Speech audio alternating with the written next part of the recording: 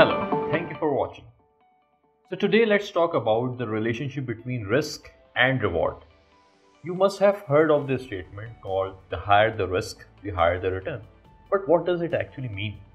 So in risk management or in investment, you get a higher return, you get a higher profit if you are willing to take an additional risk.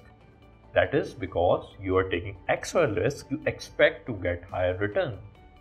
Let's take an example of bond markets and equity market. So in the bond market, you have this assurity that you will get a 5% return. Okay. And that return is almost uh, assured of. That's something that you are going to get until you know something very unexpected happens. And if it's a government entity, if it's a government bond or government sukuk, then the chance of not getting your money back is or not getting that sort of return is almost zero okay?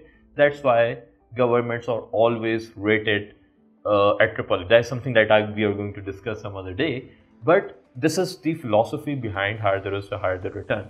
Now let's talk about equity. We know what's or what sort of volatility is here in the equity market. So uh, on one day equity market can be at let's say if we talk about psx it could be 41000 pounds points uh, but on the other other day, it, it may go down to 39,000 point, points or let's say 40,000 points. Okay, so there is a lot of volatility over there, and uh, if you are dealing with that sort of volatility, you expect or you deserve to get the higher returns. This is something that we know as the risk premium.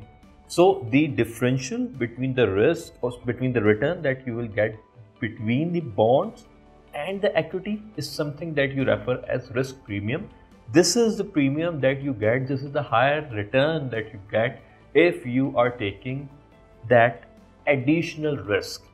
So, this is what risk reward relationship, which is very much critical in risk management. Thank you.